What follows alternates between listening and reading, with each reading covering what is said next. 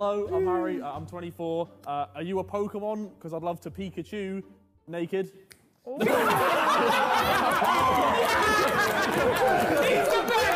so cute. Like that was so innocent. Like, are you a Pokemon? Because I want a Pikachu naked. Like that's cute. I like him. Oh my god.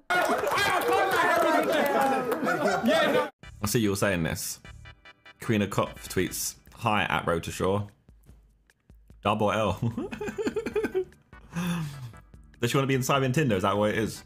I've had the first reply is him, like, someone's screenshot a photo of him doing the lip. Ooh.